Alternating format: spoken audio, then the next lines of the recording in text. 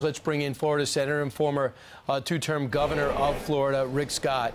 Uh, Senator, there's a there's a worry and concern about fatalities. We have. Uh, what could you tell us about that? Well, I talked, to, I talked to the sheriff this morning, um, and I know there's a lot of rescue efforts going on. Um, I mean, I hope to pray that that's not true, that we, um, any, any person loses their life is horrible. Um, and I know there's a lot of people that are not being able to reach their, uh, their loved ones. I know it's, it's hard for them. Uh, but I do know that uh, our first responders, our sheriffs, our police departments, our rescue teams are going to get to people as quickly as they can and respond to every call. We still have the storm in the state. I hope everybody in the northern part of the state is careful. We got we it's a lot of rain. Um, we're going to have a lot of standing water. Uh, I think everybody just needs to be really cautious right now. Um, let the first responders do their job. Help your neighbors. Um, don't don't get it. Don't drive into standing water. Walk in it. Don't touch down power lines. Uh, don't put a generator inside your house. Uh, there's a lot of things. Be careful with power tools. I'm just you know. You know, I was a governor. I went through four hurricanes. I just, you know, you don't want anybody to lose their life. It's, it's just devastating.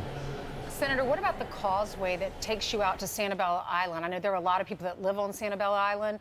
Do you have any word yet? It might be too early to answer this, but when that causeway will be fixed because a portion of it collapsed, so the people who are trapped on the island won't be able to get get inland.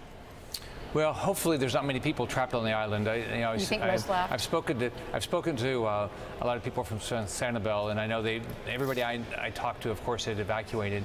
So hopefully there's not many. Um, you know, it's going to be a lot of work. Um, we had to, you know, as governor, we we had to accelerate a lot of things to uh, to get roads back open. Uh, so I know everybody's going to work hard. Uh, it's got to be a, everybody's got to work hard. Locals, state, and federal has got to work together to try to get these things done. But the first thing we got to protect life life.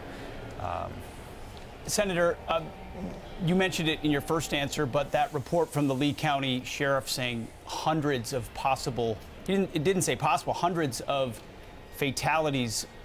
What do you know about that? Are we able to confirm that? How soon will it be? And, and I got to imagine that's all intertwined with ongoing rescue efforts. Yeah, I know that um, there's a lot of rescue efforts, um, and I know that um, everybody, we're all hoping that the number is zero. Um, this was a deadly storm. This is the storm surge was just uh, horrible. Uh, so I hope it's zero. I know the sheriff, uh, he has a great team. They're working hard. Um, I know we got rescue teams going in to try to help everybody. Uh, so let's all, I mean, we're in this together. Let's help each other and let's be let's be safe. So I hope it's zero, and we'll we'll see what it, we'll see what happens as uh, the day goes on. Uh, but it's good. It's devastating. I can tell you that. I've seen I've talked to a lot of people. I've seen a lot of pictures. It's devastating what happened, especially in the Fort Myers area. So let me ask you, uh, I was just talking to a sheriff who said, you know what we need from the federal government? More high water vehicles. I mean, they're not in Washington. Where are they, and can you get them? Yeah, we, I mean, my experience has been that the, the federal government uh, worked with me, FEMA worked with me, other National Guards. A lot of that is through the National Guards around the country. And so the way the process works is uh, the state would ask for it uh, through, or the county would ask for it, and then a National Guard from another state would um, would say they could do it, uh, and then they would they would get them as quickly as possible. So I know everybody's going to work together. My experience was with National Guards all across the country um, uh, worked really well together to get us the resources we needed. Uh, I'm sure that we there's going to be some um, uh, helicopter that we need, uh, boats we're going to need. There's going to be a lot of resources that we're going to need. Uh, the first thing is we got to keep everybody alive. Right. That's my I'm, biggest concern. I want everybody alive. And yeah. this is a key. This is a key hour, right? These are key hours right now.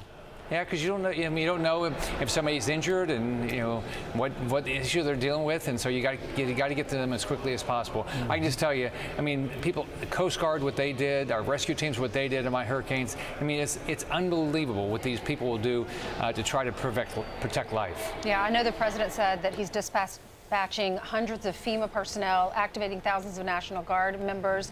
I watched you last night on Sean's show, and you were talking about getting these roads back open because that's how we get the power back on. Yes, the priority is rescuing people, making sure people are safe and alive. But when, when you do talk about power, how long, in your experience, when you've gone through these hurricanes in Florida as governor before, how long did it take, how, how long could these people in Florida expect to be without power? You know, uh, what they have to do first is they have to do an assessment. So the first thing you do, you, it goes like this: you got to get you got to get the roads open so they can get there. Then you've got to find out which lines are down. Uh, I know that um, all of our utilities they work well together. They're bring, they were bringing in people and they're going to get them uh, on the ground as quickly as they can to get these things back up. Uh, so I'm hoping it's days. Um, the uh, uh, so I but we just don't know how bad it is and how dense it is and how much water they're in. I mean that's it's all those things that, that really impact the ability of the utilities to get things reopened. Yeah. Senator, just real quick question. I know after the shooting at the nightclub, you almost got uh, no communication with President Obama at the time. When will you know if this administration is truly working with Governor DeSantis? What should we look for to see if there is coordination and support? Well, the first thing is if the president is responsive, which he has been so far with the pre-landfall declaration, also with uh, with the um, uh, relief that he, uh, they agreed to either last night or this morning. I think that's a first step. I know that I've talked to uh, FEMA administrator uh, and also the lady from the southeast. They're on the ground, uh, so it's. But you know, you just got to. Everybody's got to keep working together, and I'm I'm hopeful. And I tell you what, if if there is a problem, I will be very vocal.